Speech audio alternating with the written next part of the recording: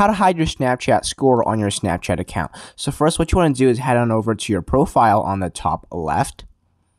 And from here what you want to do is click on the settings bar on the top right. Once you're in your settings, you want to scroll down until you find the toggle that says privacy control right over here. And then now from here, what you want to do is click on contact me.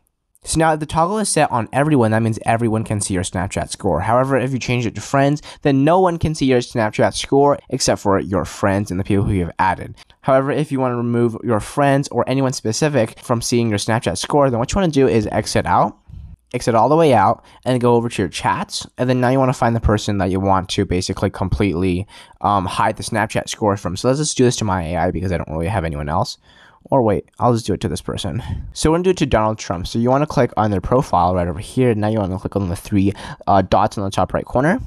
From here, you want to click on Manage Friendships, and then now you want to remove the friend. So once you remove the person from your Snapchat account, then they cannot see your Snap score anymore. So that's the only way for you to remove specific people.